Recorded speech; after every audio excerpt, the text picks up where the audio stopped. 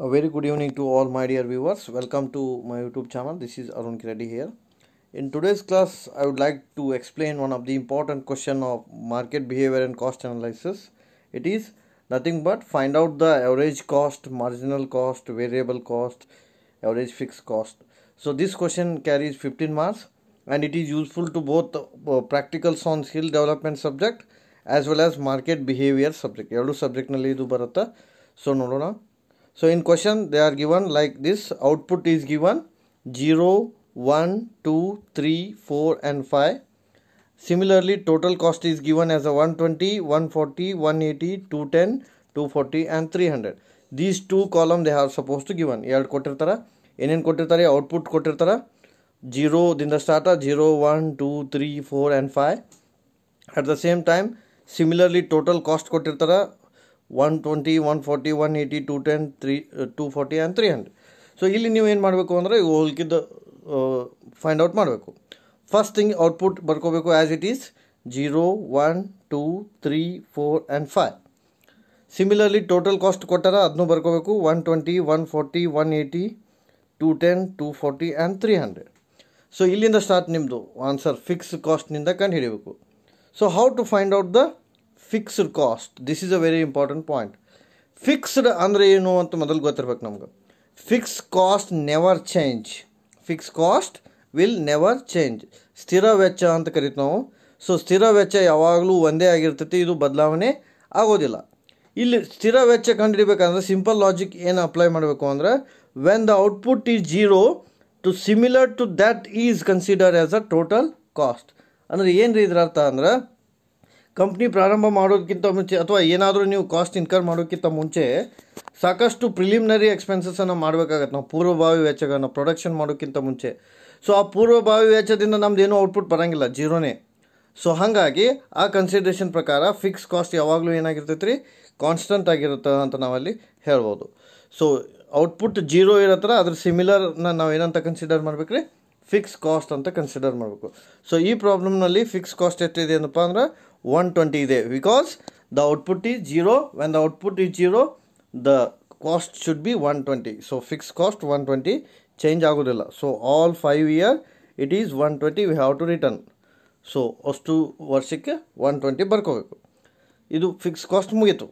Next ಏನು ಕಂಡುಹಿಡಬೇಕು ಅಂದ್ರೆ variable cost ಬದಲಾಗುವ ವೆಚ್ಚ ಅಂತ ಕರಿತೀವಿ ನಾವು variable cost so variable cost formula ಏನು ಅಂದ್ರೆ total cost minus total sorry minus fix cost ಅಂತ ಕರಿತೀವಿ so variable cost is equal to variable cost is equal to total cost minus fixed cost ಅಂತ ನಾವಲ್ಲಿ ಕರಿತೀವಿ ನಾವು ಒಂದು ನೋಡೋಣ ಇಲ್ಲಿ ಕ್ವಶನ್ನ ಫಸ್ಟ್ ಜೀರೋ ಅಂತ ಐತಿ ಸೊ ಜೀರೋ ಹೆಂಗೆ ಬಂತು ಅನ್ನೋದು ನೋಡ್ಬೇಕು ನಾವು variable cost so what is your total cost one twenty and what is your fix cost one twenty so one twenty minus one twenty is equal to zero so the variable cost is zero Similarly, second year we have to find out. So total cost is 140, fixed cost is 120. So what about the variable cost? 20. So 140 minus 120 multiplied the monthly answer is 20. So the second year variable cost and third year 180 is total cost minus 120 is fixed cost. Then what about variable cost? Rupees 60. It is very similar. Next, fourth, third year 210 is total cost minus 120 is fixed cost. Then what is your variable cost? Rupees 60. Uh, ಎಷ್ಟಾಗುತ್ತೆ ಸಾರಿ ninety rupees ninety ಅಂತ ನಾವಲ್ಲಿ ಕರಿತು ninety rupees ಆಗುತ್ತೆ next two hundred and forty is total cost minus one twenty is fix cost then what is your variable cost rupees 120 and similarly last 300 is the total cost 120 is a fixed cost and what about variable Cost 180 is a variable cost. So ನೆನಪಿಟ್ಟುವರಿ ಭಾಳ simple formula ಇದು. Variable cost is equal to total cost ಇದು ಪ್ರಾಬ್ಲಮ್ನಲ್ಲಿ ಇರುತ್ತೆ. Minus fix cost ಇದನ್ನು ನಾವು ಕಂಡು ಹಿಡ್ಕೊಂಡಿರ್ತೀವಿ so total cost minus fix cost ಮಾಡಿದಾಗ ಏನು ಸಿಗುತ್ತೆ ರೀ? ವೇರಿಯಬಲ್ ಕಾಸ್ಟ್ ಸಿಗುತ್ತೆ? ಬದಲಾಗುವ ವೆಚ್ಚ ಅಂತ ನಾವಲ್ಲಿ ಕರಿತೀವಿ.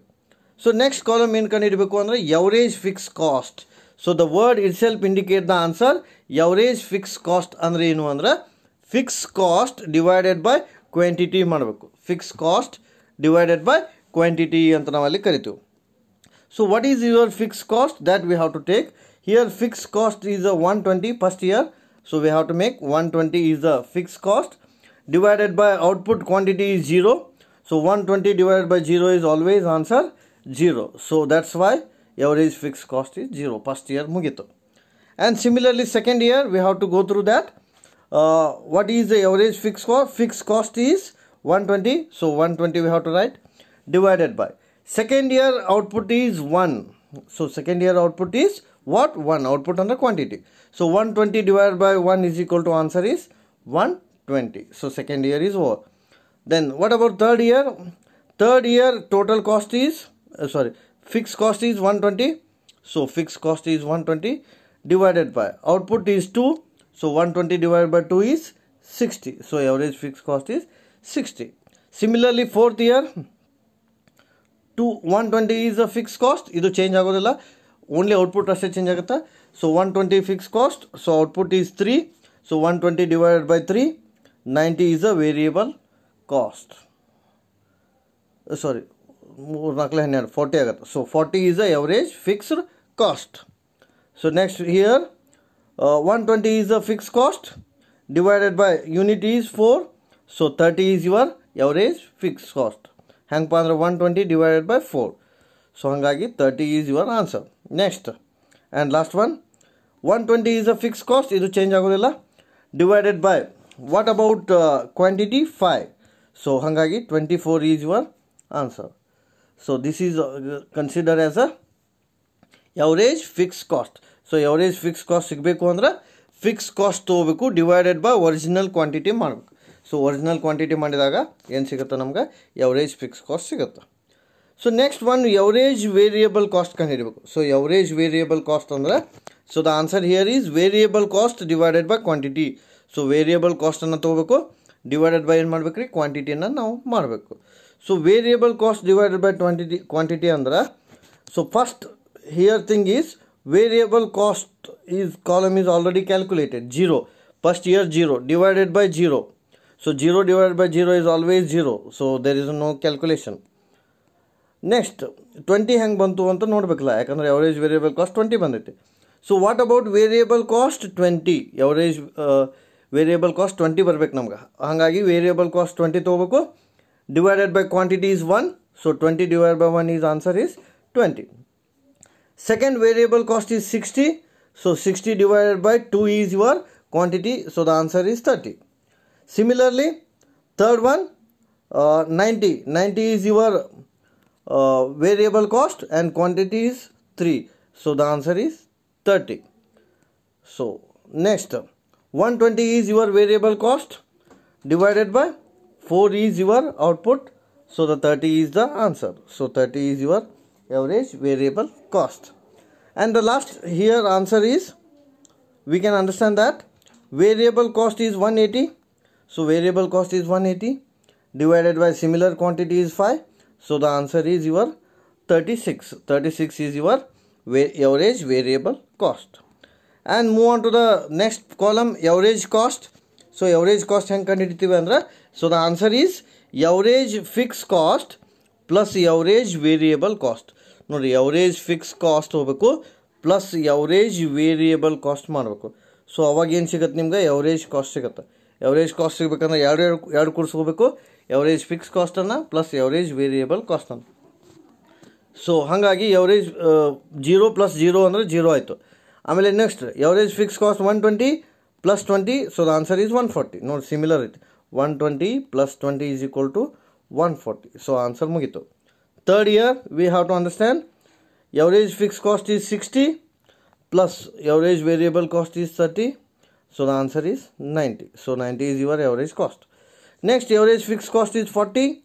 Average variable cost is 30. So the answer is 70. ಎರಡು ಕೂಡಿಸ್ಕೊತ ಹೋಗ್ಬೇಕು ಇವೆರಡು ಕಾಲಮ್ ಅನ್ನ so thirty thirty is equal to sixty is your average cost similarly last one twenty four is average fix cost and thirty six is your average variable cost so sixty is your answer and the last point which is consider as a marginal cost ಅಂತ ಕರಿತೀವಿ ನಾವು. ಅಂಚಿನ ವೆಚ್ಚ ಅಂತ ಕರಿತೀವಿ. Marginal cost ಅಂದರೆ ಏನ್ರಿ? ಅಂಚಿನ ವೆಚ್ಚ ಅಂತ ಕರಿತೀವಿ. How to find out a marginal cost new total cost minus old total cost ಅಂತ ಕರಿತೀವಿ ಸೊ ಟೋಟಲ್ ಕಾಸ್ಟ್ ಕಾಲಮ್ ಬೇಕಾಗತ್ತೆ ಅದಕ್ಕೆ. ಮಾರ್ಜಿನಲ್ ಕಾಸ್ಟ್ ಕಂಡುಹಿಡಿಬೇಕಂದ್ರೆ ಏನು ಬೇಕಾಗತ್ತೆ ರೀ? ಟೋಟಲ್ ಕಾಸ್ಟ್ ಬೇಕಾಗತ್ತೆ. So new total cost minus old total cost ಅಂದ್ರೆ ಕ್ಯುಮ್ಯುಲೇಟಿವ್ ಮಾಡ್ಕೊತ ಹೋಗ್ಬೇಕು. ಸಿಂಪಲ್ ವರ್ಡ್ನಾಗ ಹೇಳ್ತೀನಿ ನಿಮ್ಗೆ. ಕ್ಯುಮ್ಯುಲೇಟಿವ್ ಅಂದ್ರೆ ಏನು ಅಂತ. ಕ್ಯುಮ್ಯುಲೇಟಿವ್ ಅಂದರೆ ಆ್ಯಡ್ ಆನ್ ಅನ್ನಂಗೆ ಇಲ್ಲಿ ನಾವು ಏನು ಮಾಡಬೇಕು ಅಂದ್ರೆ first year total cost one twenty ಇದೆ. ಸೊ ಮೈನಸ್ ಒನ್ ಟ್ವೆಂಟಿ ಅದೇ ವ್ಯಾಲ್ಯೂವನ್ನು ಮೈನಸ್ ಮಾಡಿದಾಗ what is your marginal cost zero and second year is very important second year second year is very important 140 is your total cost minus 120 is your original cost. So 140 minus 120 is marginal cost is 20 and the third year 180 is your total cost minus 140 is your total cost so the answer is 40 cumulative ಮಾಡ್ಕೊತ ಹೋಗ್ಬೇಕು minus and third year 210 minus 180 so 30 is your marginal cost and fourth year 240 minus 210 30 is your marginal cost and last 300 minus 240 60 is your marginal cost ಇಷ್ಟೇ ಐತಿ ಇದು problem ನೋಡ್ರಿ in brief I will revise First output ಕೊಟ್ಟಿರ್ತಾನ total cost ಕೊಟ್ಟಿರ್ತಾನ, ನೀವು ಕಂಡುಹಿಡಬೇಕಾಗಿರೋದು fix ಕಾಸ್ಟನ್ನು ಕಂಡುಹಿಡಬೇಕು. Fix cost ಕಂಡುಹಿಡಬೇಕಾದ್ರೆ ಲಾಜಿಕ್ ಏನು ಅಂದ್ರೆ ಔಟ್ಪುಟ್ ಸೇಮಿಲರ್ ಯಾವ್ದು, ಏನಿರುತ್ತೋ total cost that is called as a fix cost output zero ಇದ್ದಾಗ ಏನಿರುತ್ತೆ ಟೋಟಲ್ ಕಾಸ್ಟ್ ಅದೇ ಫಿಕ್ಸ್ ಕಾಸ್ಟ್ ಆಗುತ್ತೆ. ಹಾಗಾಗಿ ಒನ್ ಟ್ವೆಂಟಿ ತೊಗೋಬೇಕು. Then what about variable cost variable cost formula ಅಂದ್ರೆ ಏನು ಅಂದ್ರೆ total cost minus fix cost ಮಾಡಬೇಕು. ವೇರಿಯಬಲ್ ಕಾಸ್ಟ್ ಬರುತ್ತೆ. Then what about average fix cost average fix cost ಅಂದರೆ fix cost divided by quantity ತೊಗೋಬೇಕು. ಅದು ಬರುತ್ತೆ? ಆಮೇಲೆ ಎವರೇಜ್ ವೇರಿಯಬಲ್ ಕಾಸ್ಟ್ ಅಂದ್ರೆ variable cost divided by quantity ಮಾಡಬೇಕು. ಸೊ ಅದು ಸಿಗುತ್ತೆ? ನೆಕ್ಸ್ಟ್ ಎವರೇಜ್ ಕಾಸ್ಟ್ ತೊಗೋಬೇಕು. ಎವರೇಜ್ ಕಾಸ್ಟ್ ಅಂದರೆ average fix cost plus average variable cost ಮಾಡಬೇಕು. ಸೊ ಎವರೇಜ್ ಕಾಸ್ಟ್ ಸಿಗುತ್ತೆ? ಆಮೇಲೆ ಲಾಸ್ಟ್ ಕಾಲಮ್ ಮಾರ್ಜಿನಲ್ ಕಾಸ್ಟ್ ಏನು ಕಂಡುಹಿಡಿಬೇಕಂದ್ರೆ total cost of old minus total cost of new so ಅದೇ ವ್ಯಾಲ್ಯೂವನ್ನು ಅದೇ ವ್ಯಾಲ್ಯೂ ಜೊತೆ ಮೈನಸ್ ಮಾಡಿದಾಗ ಫಸ್ಟ್ ಇಯರ್ ಜೀರೋ ಬರುತ್ತೆ second year one forty minus one twenty twenty so this is all about our formulas so that we can conclude ನೋಡಿರಿ ಈಸಿಯಾಗಿ ನೆನ್ಪಿಟ್ಕೊಳ್ಳೋಣ. Variable cost is equal to total cost minus fix cost ಇದು ಮುಗೀತು. Then average fixed cost is equal to fixed cost divided by quantity fixed cost divided by quantity. Next average variable cost is equal to variable cost divided by quantity. Next average cost is equal to average fixed cost plus average variable cost. Marginal cost is equal to old tc minus new tc old total cost minus new total cost. This is about the uh, calculation of different costs and this is a very important so that you can see